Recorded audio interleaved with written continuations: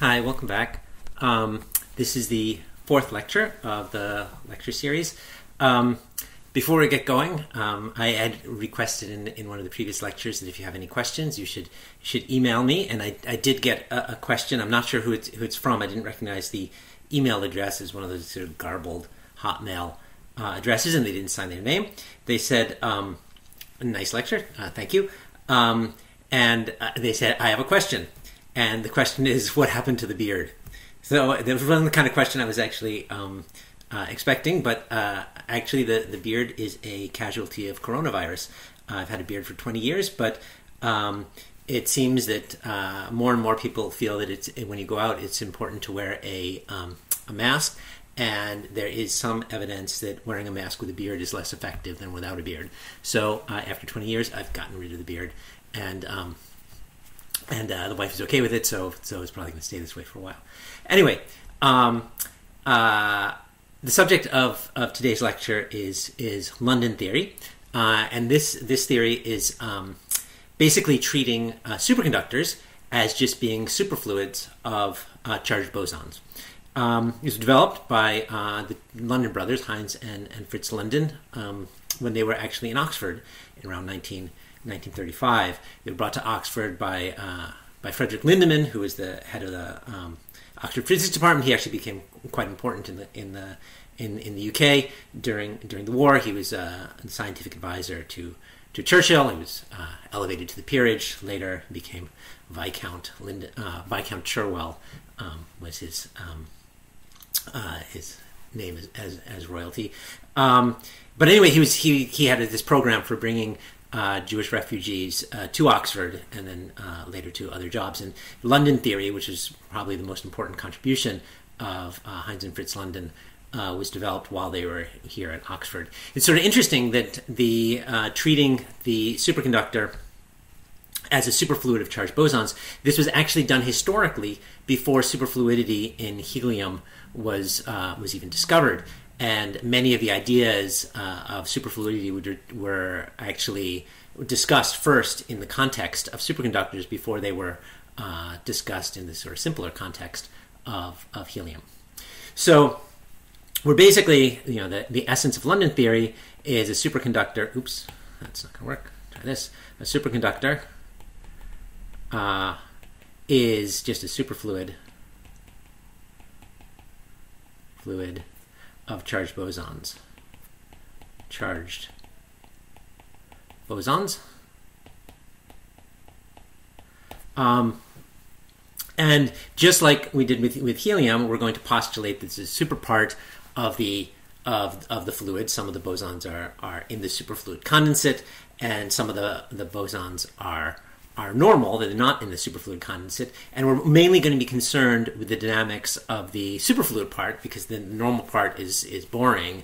Uh, the, the, those uh, bosons, those charged bosons, they do move around a little bit, um, but not like the um, not like the the superfluid part. The superfluid part moves uh, with persistent current. And, you know, currents will last forever, and and it moves very very readily uh, with no scattering. Um, and so we're going to focus almost entirely on the um, on the superfluid part of the of the of the bosons and not the, not the normal part. Um, so the the basic um, approach is to write down a dynamical equation for the motion of the superfluid part, um, which is basically just just Newton's law, uh, the acceleration d velocity uh, dt. Partial t. Um, d velocity uh, dt is force divided by the mass, and the force will be um, minus the the charge on the boson times the electric field, and then divided by the mass. Now I'm going to put stars on both the uh, charge and, and, the mass, um, and that's to indicate that we actually don't know what the charge of the boson is. We don't know whether it's uh, the boson has charge one uh, and mass one electron, or if it has charge two, which actually it does. In the end, we'll discover um, uh, mass two uh, electrons and charge of two electrons, or mass four electrons and charge of of four electrons. We don't know how big the cluster is that forms forms a boson. The only thing that this that London theory is going to know is um, is the ratio um, E over M, E star over M star is going to be known in this theory and not the individual E and M itself. Okay, so this could be um, could be E over M or 2E over 2M or 4E over 4M. Okay, um, so uh, so this is um, basically just uh, um, just Newton's equation. You can also think of it as as just being um, Drude theory with no scattering term at all. Um, so we can then write the current of this, the superfluid current, the charge current. So this is charge uh, current, superfluid charge current, super charge current, um, which is just going to be the uh, charge per particle, the density of these particles, times the superfluid velocity. And again, here, we don't know what the charge of a cluster is. The E star times N star, N star is, is density here, N, NS uh, star is density, number density uh, of bosons. And again, we don't know what the what the charge of a, a cluster is. Um, we know only the product of E star times N star. So it could be um, uh, 100 uh, bosons per um, cubic centimeter where each boson is charged 1, or it could be 50 bosons per centimeter where each boson is charged 2. The product uh, E star times N, N star is going to be the same either way. So this uh, product is the total charge, oops, total charge density. Charge density. Okay. So uh, this is going to be a, a, theme of London theory. We don't know how big the, the boson charge cluster is. Okay, so just uh, putting together these two, this equation with uh, with this equation, we then derive um, the change in uh, supercurrent with uh, time is then uh, E star squared ns star over m star times uh, the electric field. And this pre, in this prefactor, um, this prefactor here again, the, the size of the of the of the boson, the, the number of uh, of electrons that, that form a boson uh, doesn't matter; it'll cancel out. Um, this equation is known as the um, first London equation. Circle it. Um, first London equation. and it is exactly just Drude theory with no scattering whatsoever. That the charge accelerates due to the due to the electric field, and it accelerates uh, completely freely. Okay, from here we'll take the curl of the first London equation, uh, del cross js, oops, del cross djs dt, del cross djs dt, and that will be the same prefactor, e star squared ns star over m star. Prefactor that doesn't know about the size of the, uh, how many charges are in a boson. And then we have curl of E, and then we can use, we know where curl of E shows up. It shows up in Faraday's law, so Maxwell's equation. So we can use uh, Faraday to rewrite that as um, E star squared ns star m star and then um, times minus db dt. That. Um, good. All right, now we have uh, time derivatives on both sides. So let's just integrate with respect to time, and we'll get um, curl of js equals um, this factor minus E star squared ns star over m star um, times b plus an integration constant, which I'll call c uh, of r. Okay, this is an important equation, so we'll, we'll circle this one too. Um, now, The point here is that the J, J and, and B can be uh, time dependent, but C of R is uh, time independent, a constant.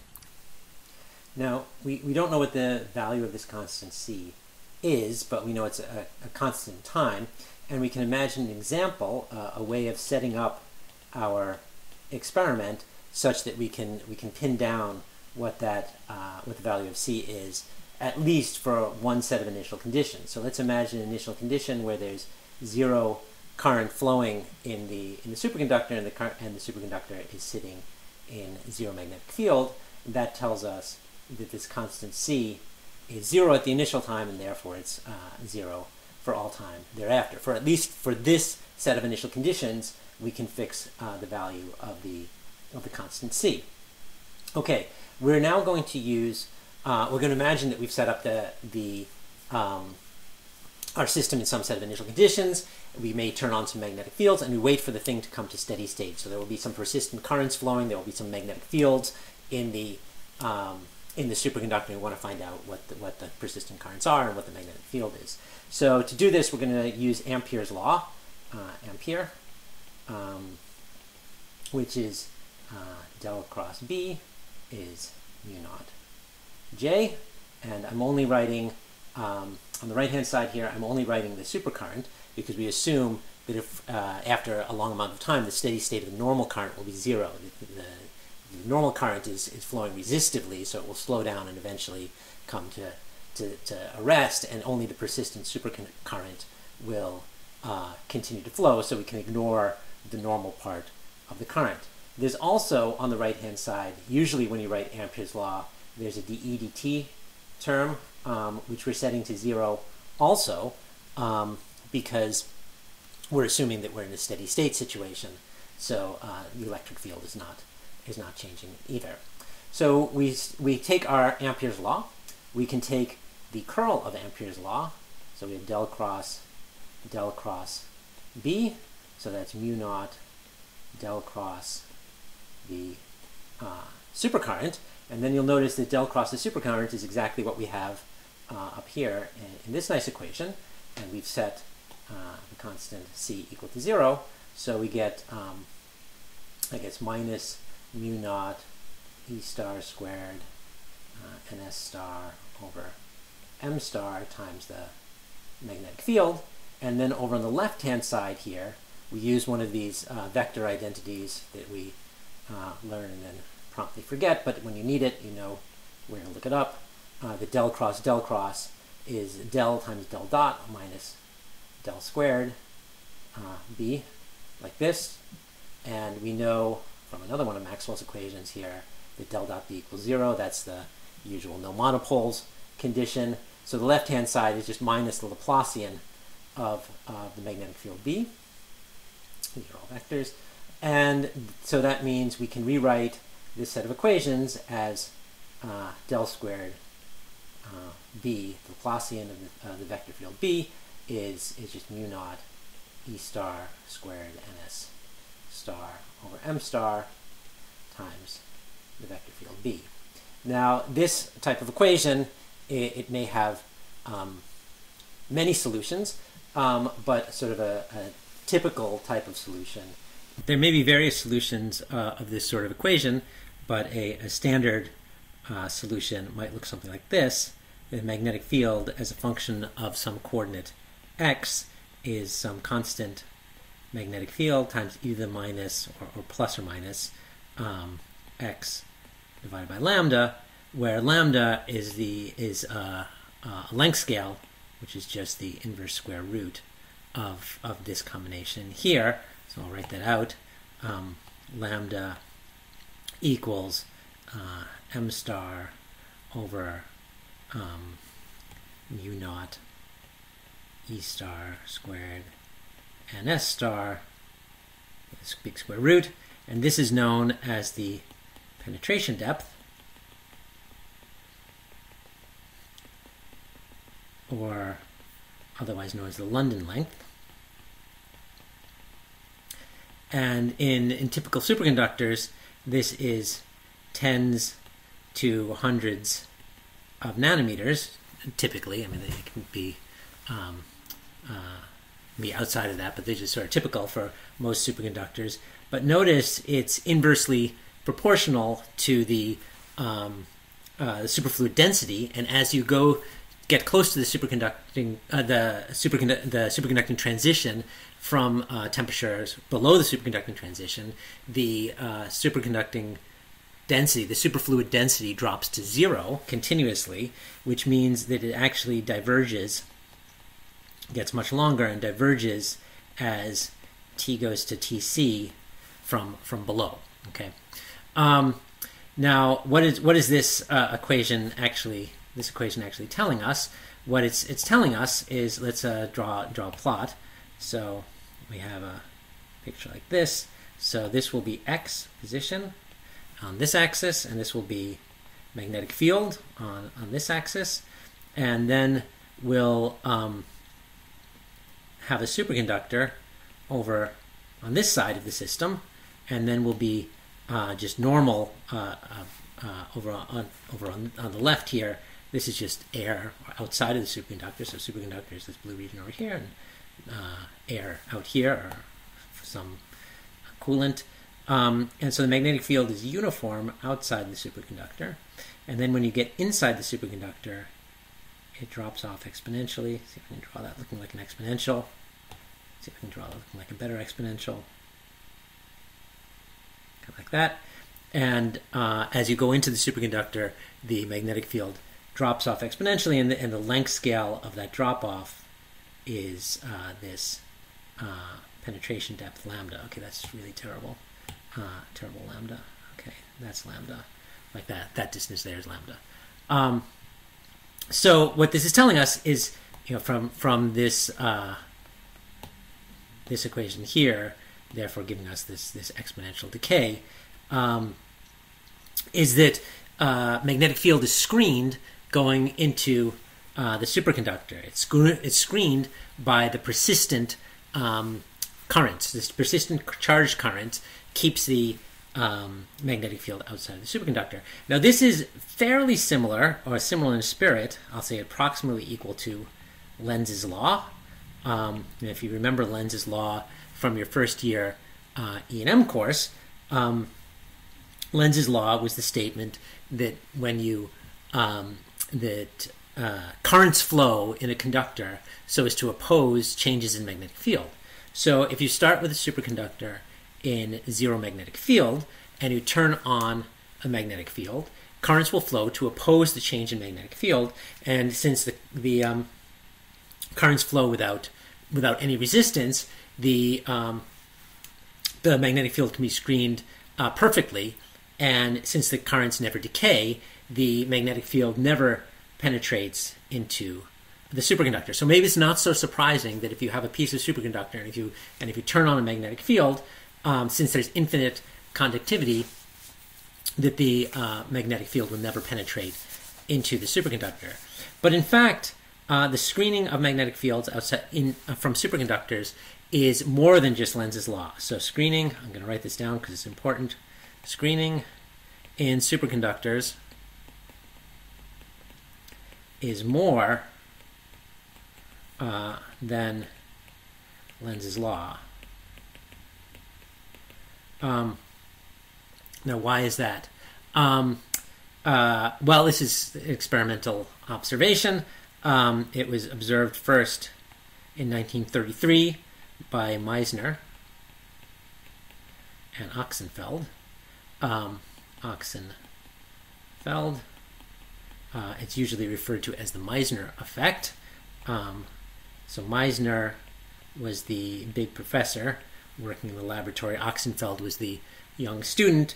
Ochsenfeld actually discovered the effect. It didn't wasn't completely clear what he was seeing. Meissner understood immediately what it was he was seeing, and then went off and basically stole the experiment from from. I won't say. I mean, he wasn't. He just got very excited about it and started doing a lot of the experiments himself. Um, so what what they saw was the following: uh, you take a material that superconducts, like like aluminum, something like that. Here's here a big ball of aluminum, um, and let's take T greater than Tc and apply a magnetic field.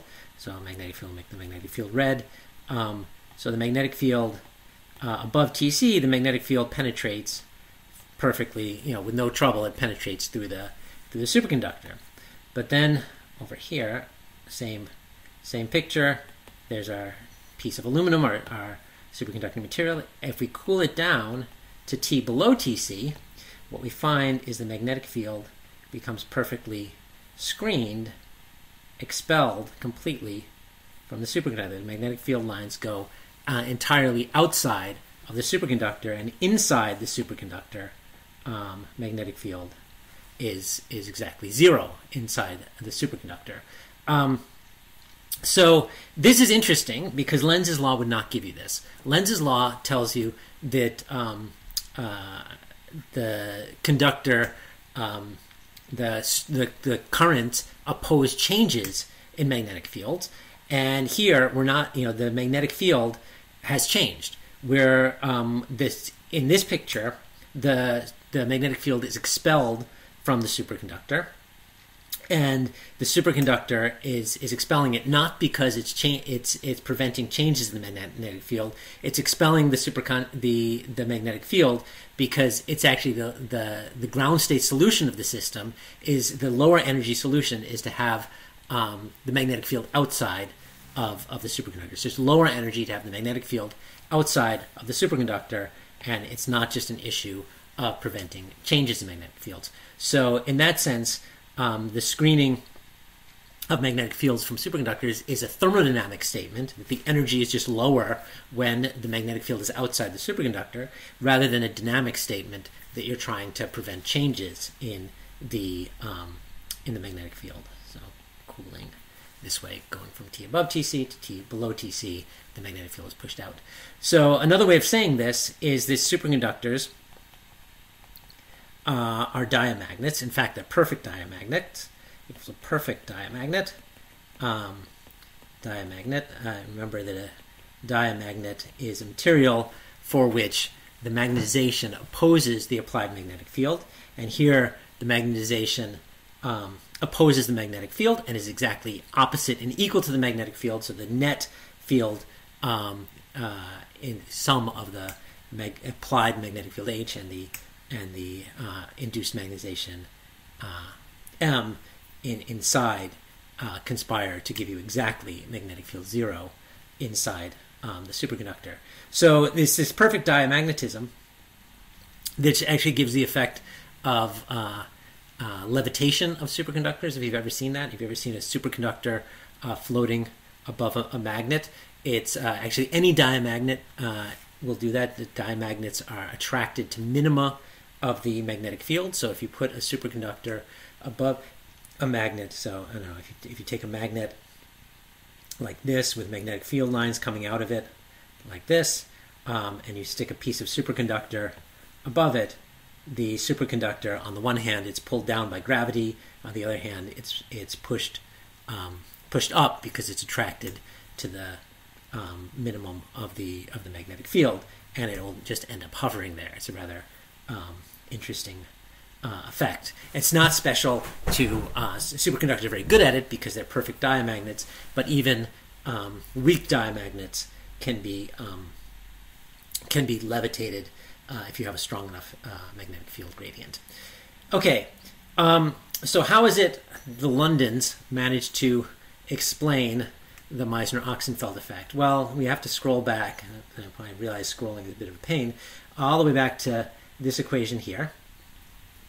And in this equation here, um, London said, well, I can explain the um, Meissner effect if I hypothesize that C of R is equal to zero, independent of the initial conditions of, of the system. Now, we took this example that we said, well, if you start with a system that has zero currents and zero magnetic field, well, then C has to be zero, um, and then it has to be zero for all time thereafter, this uh, protocol that we did with the um, Meissner effect, uh, well, it's not starting with zero current, it's not starting with, or it's not starting with zero magnetic field, so you wouldn't be able to derive C of R equals zero, or you wouldn't be able to argue it.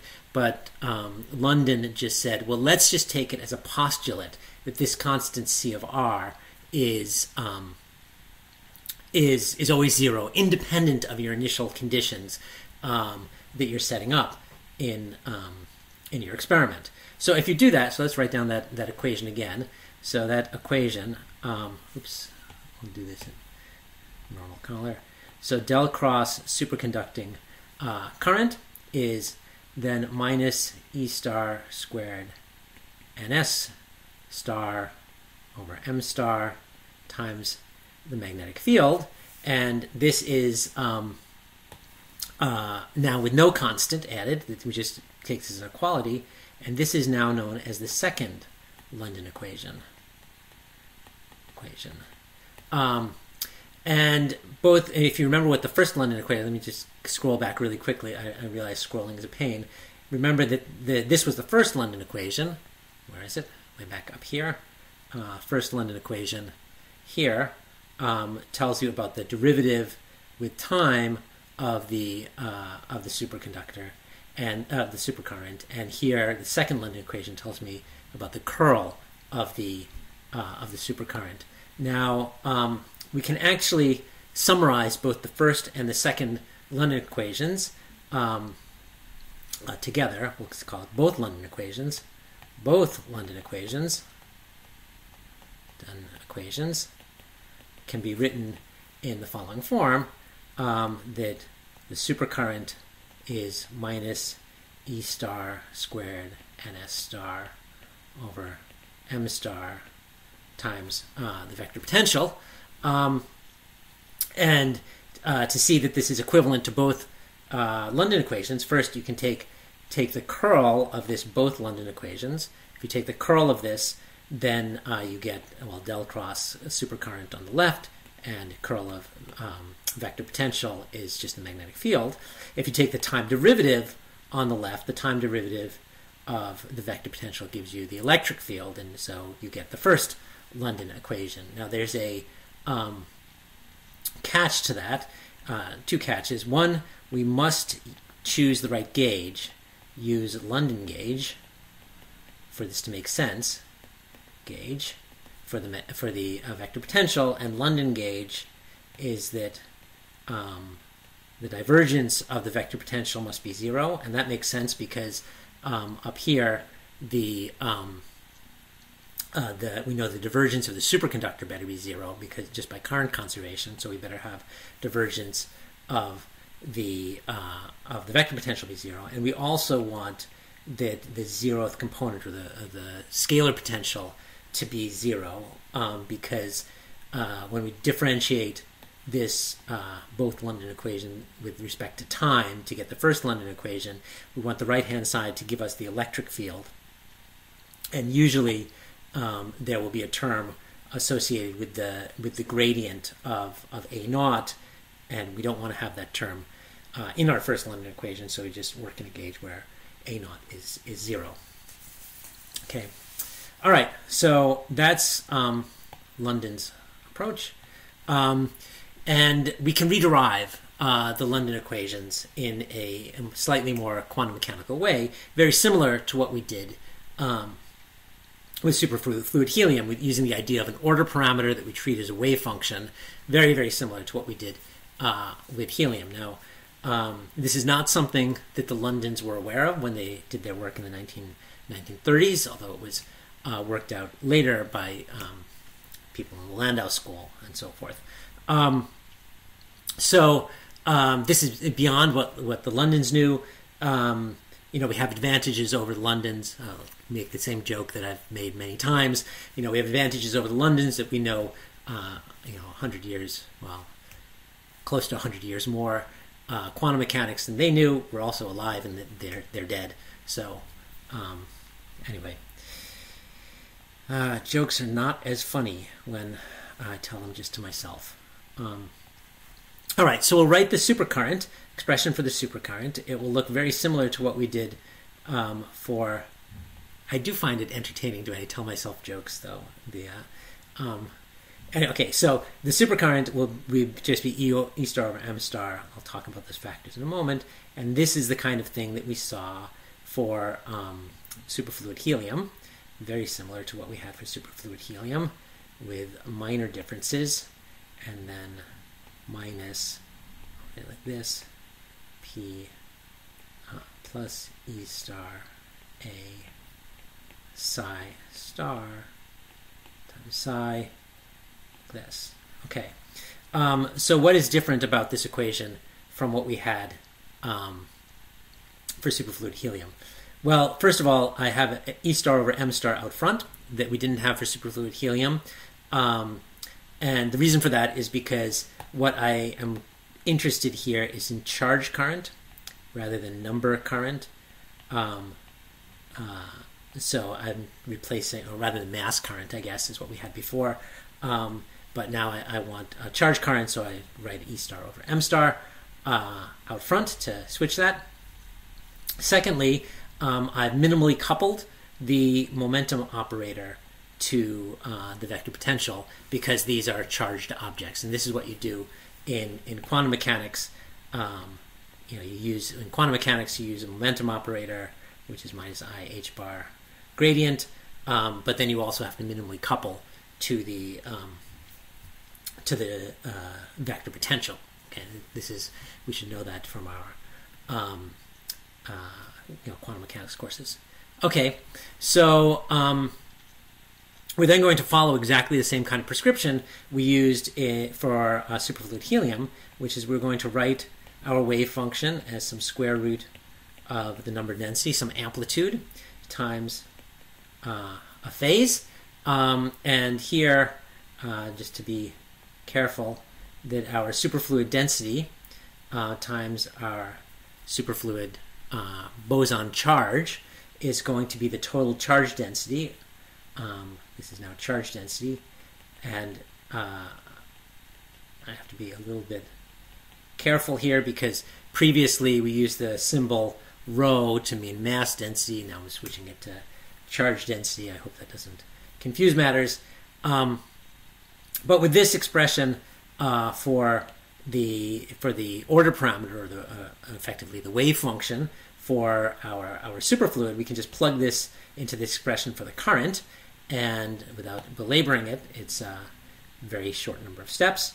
Um, we get the uh, superfluid current is given by uh, E star over M star ns star h bar gradient of theta. And this term, this is exactly like what we had. This piece here is exactly like what we had before. The only difference is that we have an E star over M star out front because we're now interested in um, we're interested in uh, the charge current rather than the uh, the mass current, and then um, we will uh, have an additional term coming from the minimal coupling, which is now E star squared, oops, don't want A yet, ns star over m star times the vector potential A, which was not there in the um, for superfluid helium.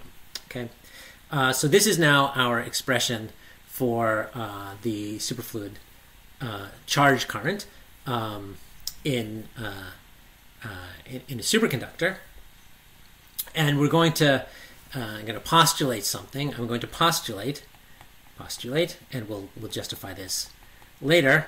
Um, that eh, or it's expectation really that theta in ground state is constant. And, and this makes makes some sense. You know, in quantum mechanics, if you twist a phase, that usually costs you some some energy. Um, it's actually a gauge dependent statement, but in, in the simple London gauge, this will be true. And if that's the case, then the supercurrent is nothing more than E star squared n star with a minus sign out front, m star times the vector potential. And this is exactly what we call the both London equations. This was both London equations um, in the in the London gauge. Um, so that's uh, very satisfying that just from um, you know writing down our wave function, uh, our charge current in terms of an order parameter or something that looks like a wave function, we immediately derive uh, the both London equations correctly. Okay. Now, um, once we we had this um, for superfluid helium, um, the the next thing we, we did is we started looking at circulation. We looked at um, uh, um, integrating around a, a, contour. So let's imagine here we have a, a superconductor. Uh, make, make the superconductor a different color. So the superconductor in, in some you know torus or something like that, and we're going to imagine a path inside the torus going around the around the hole. Um, so if I integrate, um, let's do integrate um, uh, around that path, path C, um, uh, JS dot DL. This is very analogous to what we did when we tried to calculate the circulation in the superfluid. It will now, um, looking back, here it is. So there's two terms. There's the gradient of theta term, and there's the vector potential term. So this will now be uh, E star ns star. There's an h bar over m star. Then we have the integral of the gradient of theta dl around the path. Okay, so that's from the integrating the the first term around around around the path, and then the second term will be the integral of the vector potential around the path, e star um, e star squared n star over m star, and then integral of a dot dl around the path. Um, so we'll take these these two terms one at a time. The um, lower term here, this the first term here is this is exactly the same thing we had with superfluid helium.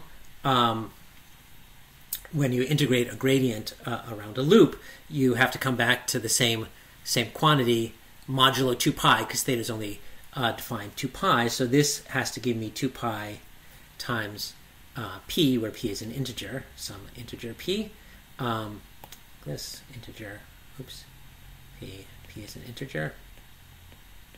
And uh, over here, the integral of the vector potential around a loop um, is, well, we can use Stokes' theorem.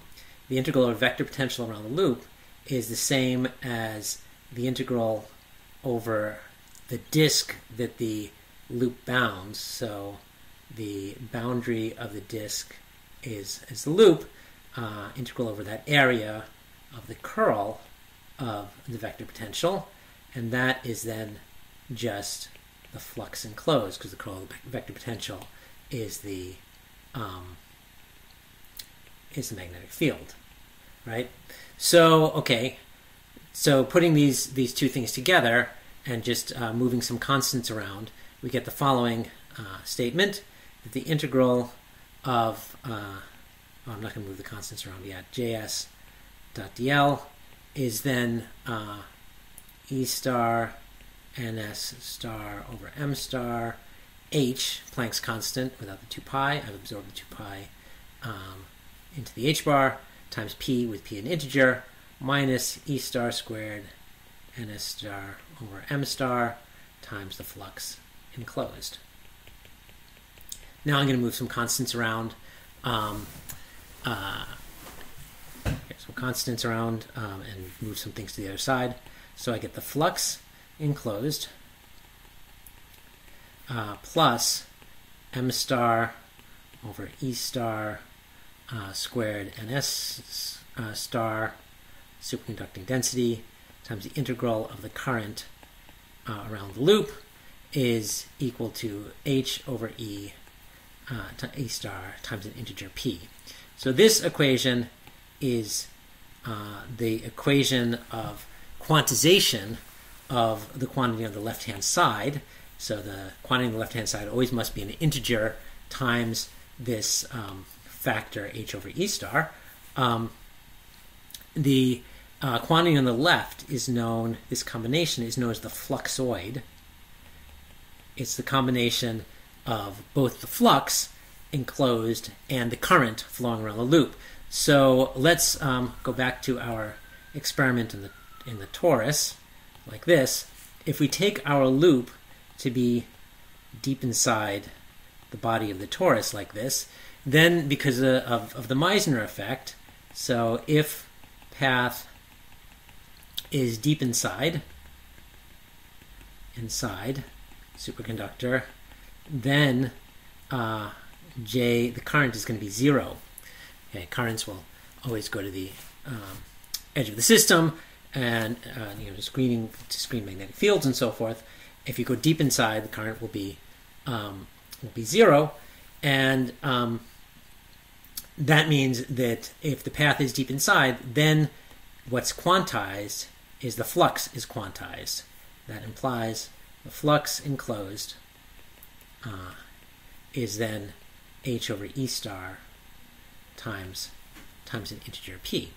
However, if the path is near the boundary of the system, then some of the then there can be currents flowing near the boundary of the system, and you will not measure the flux enclosed won't be exactly the right number, but it's the difference is made up by the integral of the uh, persistent currents that are flowing around. So this is this is analogous to the quantization of circulation we found in super superfluid helium, except here we need to keep track of not only the the current flowing but also the magnetic flux, and it's the sum of these two things which is strictly speaking uh, quantized. Now, notice here, this is a rather in, important statement that the the quantum h over e star, which uh, it's in, in which these things are quantized, it knows about the fact that e star equals 2e. Okay, all the way through London theory, we didn't know how big the the charge carrier was, whether it was a boson of charge one, charge two, charge four. It didn't matter. It was only E over m, the charge over the mass, uh, mattered. Um, so here, um, the if you can measure the quanta of, of flux or the quanta of fluxoid, you know it, um, you know exactly how big the, the charge carrier is. And in fact, uh, it turns out from experiment and, and from uh, later theory, BCS theory, that the, the charge carrier is, is E star equals 2E, meaning that the, the flux quantum phi naught, h over 2E, superconducting flux quanta, super flux quanta, quantum, um, is you know some number 2.067 dot dot dot times 10 to the minus 19 Webers, which can be measured in an experiment. Now it's a, it's a fairly small number, so it's tricky to measure. But um, soon after the development of, of BCS theory of superconductivity, it became obvious that this was a uh, a good experiment to try to do, try to measure how big the superconducting flux quantum was, and two experimental teams, one in Stanford, Deaver and Fairbank, and one in Germany, Neubauer and Doll, uh, managed to do this in, in 1961. Uh, the theory support for this uh, rather important experiment was done by Byers and Yang. If you took my topological course last fall, you heard me talk about the Byers and, Yang theory, um, theorem, uh, which was developed in the context of develop, of measuring the, the flux quantum for a superconductor. Um, Yang is this uh, C.N. Yang, the Nobel laureate. Uh, he had a Nobel Prize by that time already. Byers is Nina Byers, a someone who's a tutorial fellow at Somerville College uh, in um, in the 1960s, but eventually ended up in in California. Uh, someone who's a, a, a, very good theory theorist. He passed away a few years ago. Um, okay. Uh, anyway, as with um, the case of uh, superfluid helium, we can take the size of this hole down to down to essentially zero to make it very very very very small, and um, you know you only need a very very small region where the super superfluid density drops to zero in order to have the phase uh, wrapped by two pi as you go down um, as you go around this vortex. So super vortex, superconducting vortex, vortex. Um, so here, maybe I'll draw a picture of one. Here's a three-dimensional superconductor, and then there's a one-dimensional line down the middle where um, if you go around that line, the phase of the wave function wraps by 2 pi, and in the center of that vortex, the um, the magnitude of the order parameter drops to zero, or ns goes to zero in the center. ns goes to zero in the center. Um, Notice I spelled spell center E R, not R E, because I haven't become that British yet. Okay. Um, anyway, um, uh, so the okay, so what we have we have to remember that the what's quantized again is the is this combination, this fluxoid combination, um, is the thing that is quantized if we go around a um, if we measure it around a, a superconducting vortex. It, around a single vortex, it will it will measure uh, exactly one unit h over e star. Um, if we try to measure this um, uh, by drawing a, a, circle which is very big around the vortex, we will discover that the um, there's very little superconducting current flowing. Uh, this term will be very small because we're really in the bulk of the superconductor, but the flux enclosed will be almost exactly h over over e star. On the other hand, if we take this smaller path very close to the center of the of the of the vortex, um, then um, the flux enclosed will be very small. It's not all, and the the flux associated with the superconducting vortex is not really confined right in the core. It's spread out.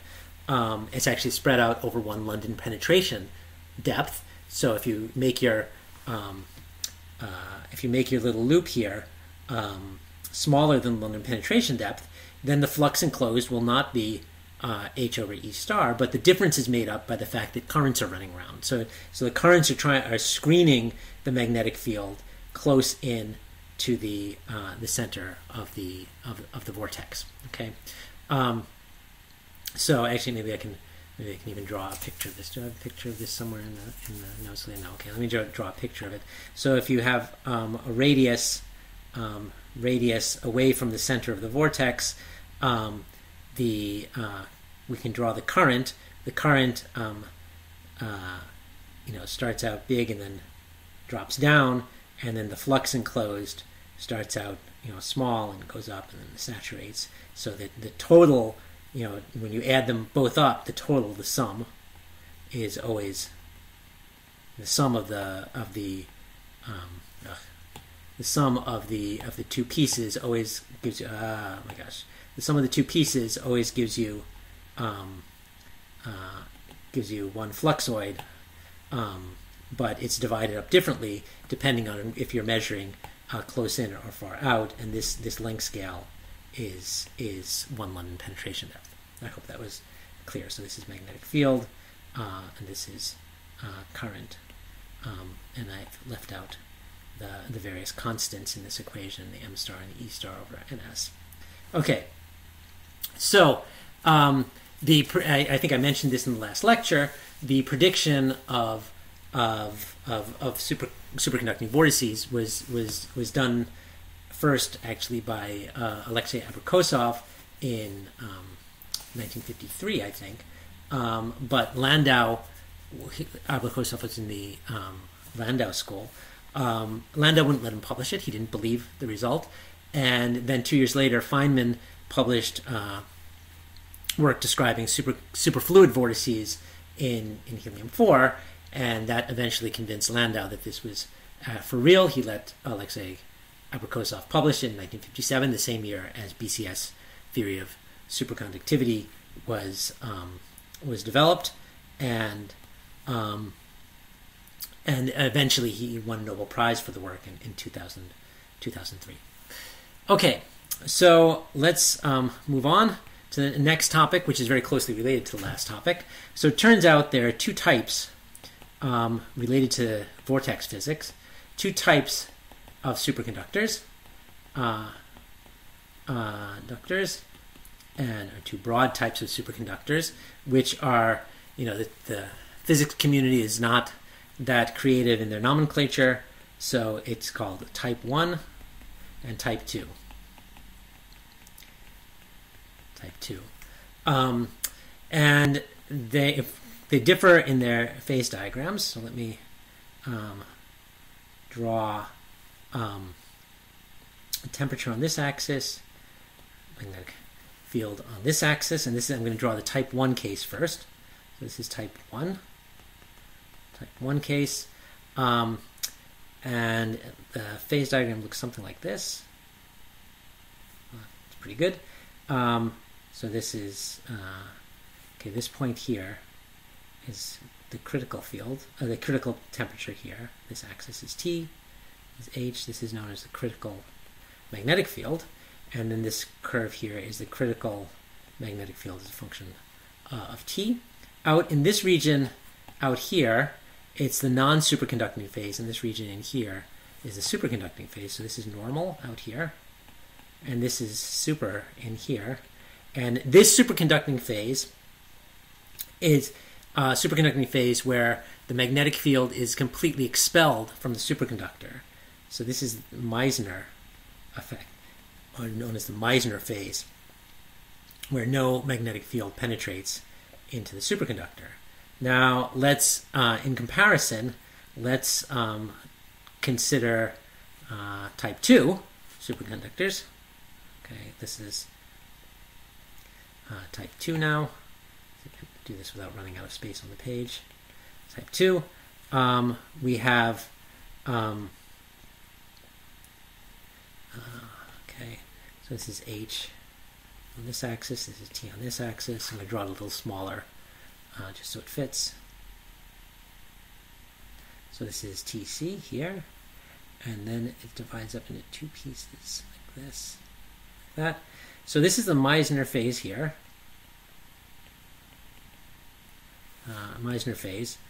And that down in this region, um, the magnetic field is completely expelled from the superconductor. This is HC um, 1, and this is known as HC 2. And in between HC1 and HC2, um, this is the vortex phase.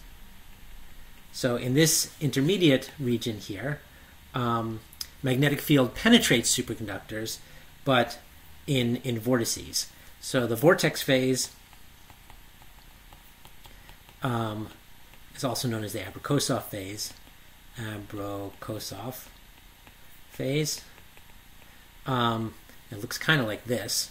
So here's your, your superconductor, and you apply a magnetic field, and the magnetic field penetrates in vortices uh, through the superconductor instead of being completely completely expelled through the um, from the superconductor. So you can have either complete expulsion of the uh, magnetic field, either either for type one superconductors or type two superconductors below HC1, or between HC1 and HC2, you can have a magnetic field uh, penetrating in individual vortices. Now, one thing that's fairly important to realize that if oops, dum, dum, dum, dum, if the vortices move, uh, move, um, then um, flux moves, and we have curl of electric field is minus dB dt um, for the Faraday effect, which means you create voltage. And creating voltage that creates resistance. So this is non-superconducting or, or non um, creates voltage, therefore uh, resistance.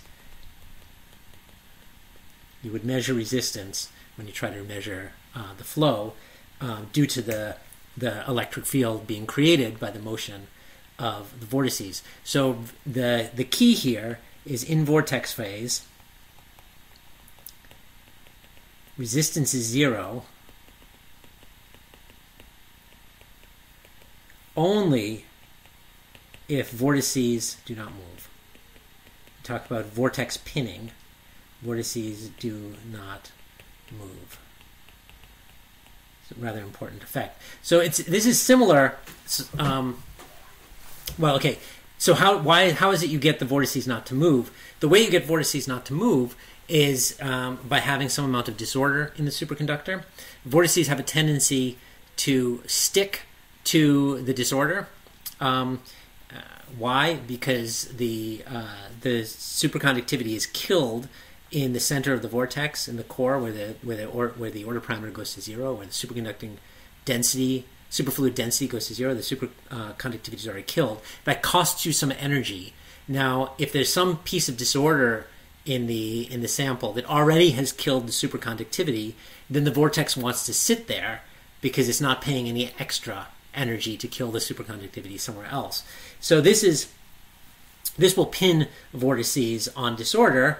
Um, I'll even write this down. Disorder does this, and will maintain uh, zero resistance uh, as long as the, the vortices stay pinned. This is very, very similar to our experience in um, when we studied magnetism, or at least if you studied magnetism, when we found that uh, a ferromagnet only stays uh, a real hard ferromagnet in the sense that it maintains its magnetization even when the uh, applied magnetic field is is is zero. Um, this only can happen if the domain walls are pinned on disorder. If the domain walls are allowed to um, uh, move around, then um, then uh, the the magnetization will always go away when you remove the uh, applied magnetic field. And, and so very analogously here, you have to pin the vortices on disorder in order to maintain uh, zero resistance. Okay, so the, the last thing we're going to do today is try to calculate how big, back up here, how big is, is HC and how big is HC1 and HC2 and what makes the difference between type 1 and type 2 superconductors. So this is basically uh, exercise in thermodynamics. So a little bit of thermodynamics, which is always a little bit difficult, but let's see if we can do it. Um, so in, in practice, how big is, is, is HC? HC, well, this can vary from milliteslas to tens of teslas, 10 teslas, something like that, tens of Tesla. Um, and the millitesla tends to be for low critical field, critical temperature, and tens of teslas for a high critical temperature. So both, if we back up to this this picture, um, when the critical temperature is high, the critical magnetic field is high as well. And the reason for this is because both temperature and magnetic field so destabilize superconductivity. Um, but if you have a very, very strong superconductor, something that can withstand a very large temperature, it can probably also withstand um, a very large magnetic field. So, uh, large TC tends to mean uh, large um, uh, critical magnetic field as well. Um, so let's see if we can calculate it in more detail and find out what the relationship between these two things are.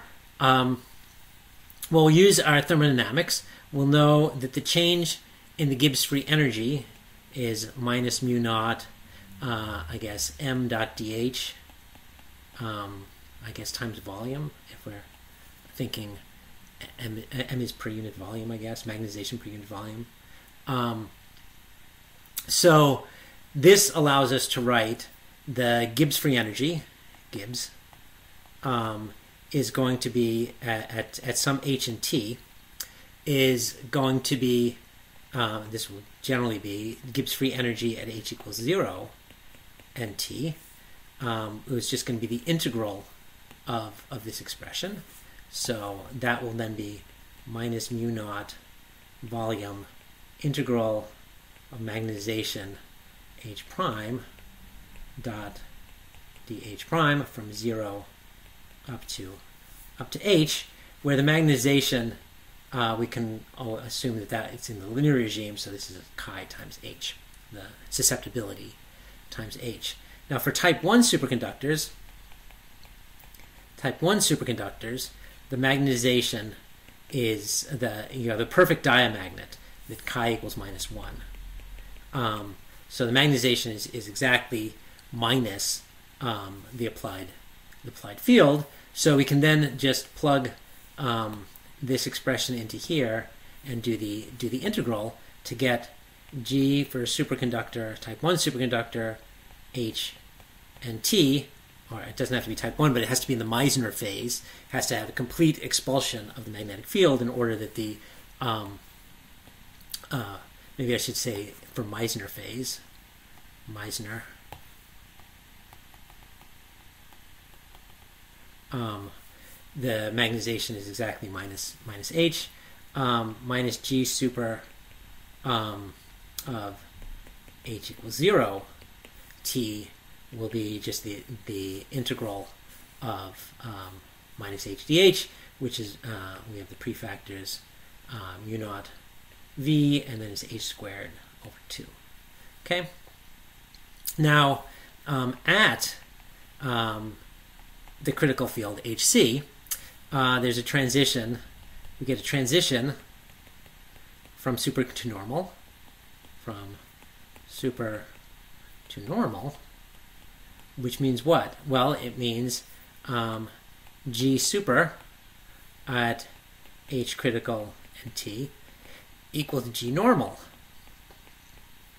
of H critical and, and T.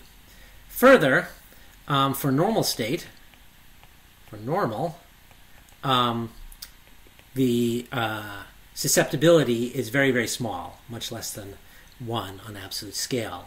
So uh, this means the if we do the same integral here, um, well, the susceptibility is really small, so the right-hand side is going to be basically 0. So this tells us that um, g normal of h uh, t uh, minus g normal um, h equals 0 t is is approximately equal to to 0 okay so we can take this equality and plug um, this equality into uh, this equation and then this equation um, uh, you okay so this gives us and, and then using using this as well we then get um, let's see how we get this. G normal uh, h equals 0 t is um, minus g super h equals 0 comma t is mu naught v hc squared over 2 let me write that hc squared over 2 let's see how, how that happened. Well okay it, it came from this equation up here and then we plugged in the g super at h um, at h and t uh, at h critical and t. Uh, we're pulling the h critical up here and h critical over here. But g super h critical to t is the same as g normal at h critical t, and g normal at h critical t is the same as g, uh, g normal at h equals 0 and t.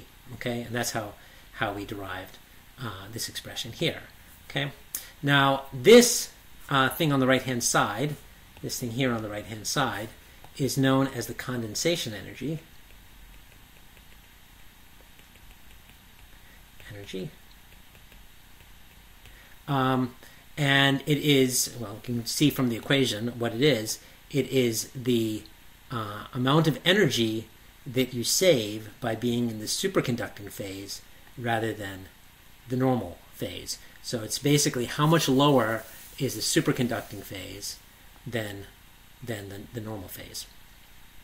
Okay, um, and notice that it is quadratic in the um, in the uh, critical um, uh, field. Um, okay, now in comparison, we can think about the vortex phase, thermodynamics of the vortex phase. And the vortex phase, the Gibbs free energy, is going to be the Gibbs free energy at h equals zero why? Well, most of the most of the, the system is in zero magnetic field. Um, you only have uh, magnetic field penetrating near the ind- individual within a London penetration length of the individual vortices. Um, but near each vortex, say there's n vortices, um, each uh, vortex will have, so the n will be the number of vortices, epsilon will be the energy per length per length energy per length per length and L will be the length of the vortex. So that actually maybe maybe maybe it's worth drawing that. So so we have uh, a number of vortices here. Um, most of the system is in uh, zero magnetic field except for the area right around each vortex. Um, there's some number of vortices. There's a length L L this, um, and then epsilon is the energy uh, per length. The number of vortices, um, the number of vortices, well, each vortex carries one flux quantum, so it's the area times the applied field, the flux applied. Uh, well, the top is the total flux applied, the area times the magnetic field, and made put in the right units by the by the mu naught divided by the flux per vortex. So this is the total flux applied, total flux applied, divided by the flux quantum.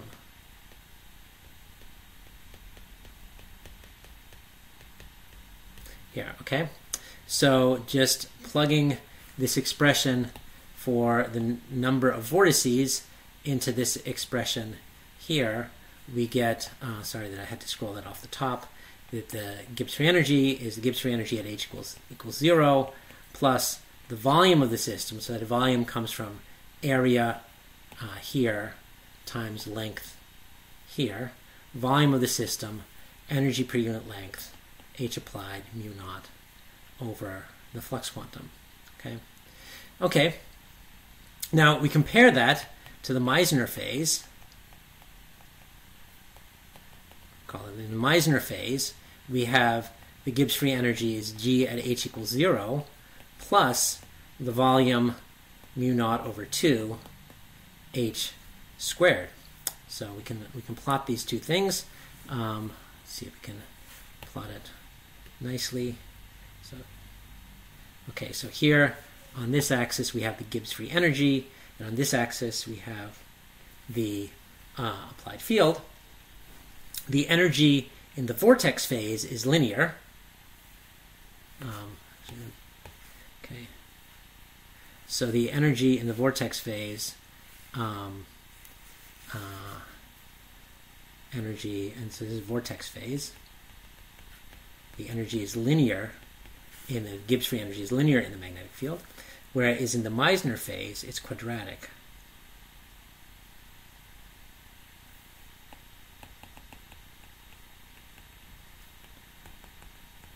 and the two of these cross over at um, HC1.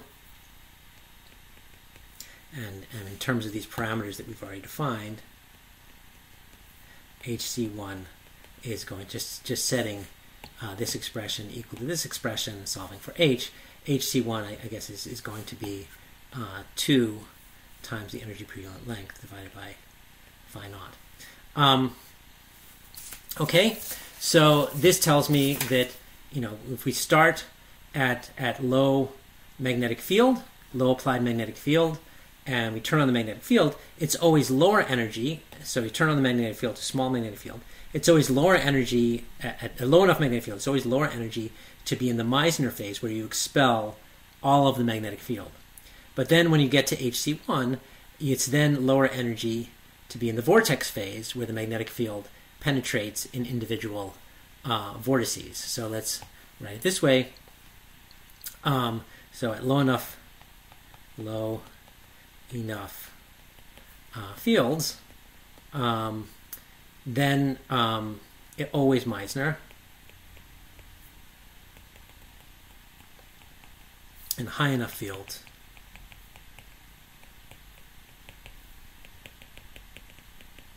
uh, will be vortex phase. Now the key here is that if you go to very high fields, you might have killed the superconductivity altogether.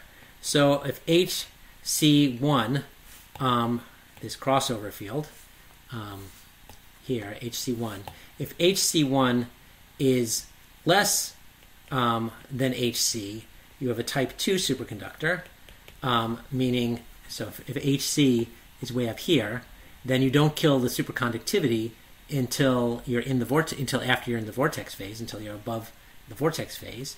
But if if hc1 is greater than hc it's type 1 in that case say say hc1 is actually I can make this smaller. Huh look at that.